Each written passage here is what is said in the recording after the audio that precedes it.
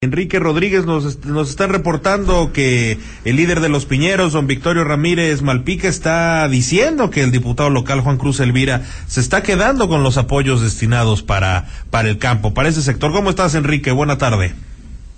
Muy buenas tardes, amigos de Uninoticias. Amado Lince, un gusto saludarte. Pues para darte a conocer el líder de los productores piñeros de Isla y de la zona de la cuenca, don Victorio Ramírez Maltica está declarando o quiere hacer una declaración en cuanto a los apoyos que se han estado desviando y no en su persona, sino lo quieren inculpar, además de que él se considera un líder veracruzano y, no un líder de, del estado de Oaxaca, como lo ha afirmado el diputado local, ingeniero Juan Cruz Elvira. Pero aquí tenemos a don Victorio. Don Victorio, muy buenas tardes. ¿Qué es lo que nos puede decir al respecto en cuanto a las declaraciones del diputado local Juan Cruz Elvira?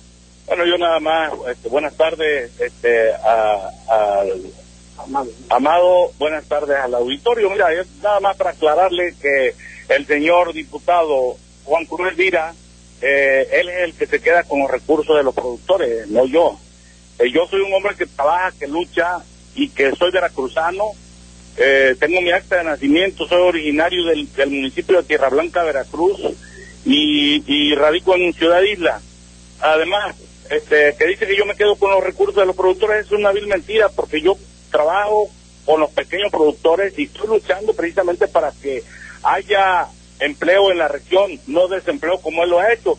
Mira, yo no quisiera entrar en una discusión este, estéril con ese señor porque ese señor ya lo conocemos aquí, que él se ha quedado con todos los recursos de toda la, gente del, ayuntamiento del municipio de Ciudad Isla. Pues yo lo que le decía claro que hemos estado luchando, pidiéndole al gobierno del Estado y al gobierno federal que, que le meta recursos al campo para generar los empleos que estamos muy desempleados. Entonces no, no es ningún asunto este, personal.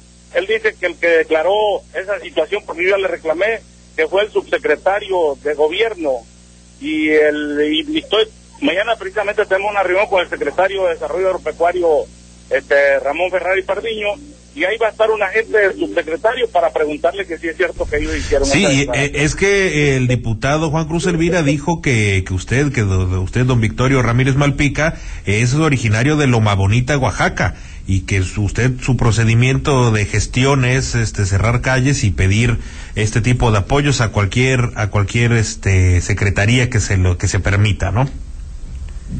Yo soy veracruzano, soy originario de Tierra Blanca, Veracruz, y tengo mi acta de nacimiento y mi credencial de lector está, soy veracruzano. Esa es una vil mentira del señor. Y además yo no cierro calle ni cierro oficina ni nada. Yo estoy protestando precisamente porque al, al pequeño productor lo están abandonando. Está abandonado precisamente a su suerte. Don Victorio, ¿a cuánto ascienden estos apoyos que tendrían que recibir los piñeros? Eh, más o menos son 80 mil pesos por hectárea de piña y, son aproximadamente 9 mil a 12 mil pesos para maíz y en ganadería, pues lo que vale una vaca, una vaca vale de 20 mil pesos para arriba. Eh, estaríamos hablando más o menos como de cuánto en un estimado total de lo que esperan recibir los piñeros de allá de Isla y los sembradores de maíz y los criadores de ganado.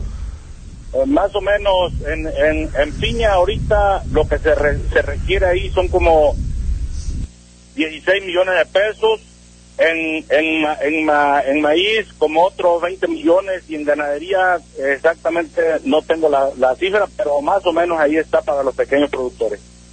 Bueno, don, don Victorio, pues ya se escuchó aquí para eh, todo el estado de Veracruz y cuatro estados circunvecinos para hacer esta aclaración de respecto a las declaraciones del diputado del Partido Verde Juan Cruz Elvira que hizo la semana pasada en este sentido y eh, pues ver ver qué en qué en qué pasa porque al final de cuentas los afectados son los piñeros, los campesinos, los que siembran maíz, los que crían en el ganado, don Victorio.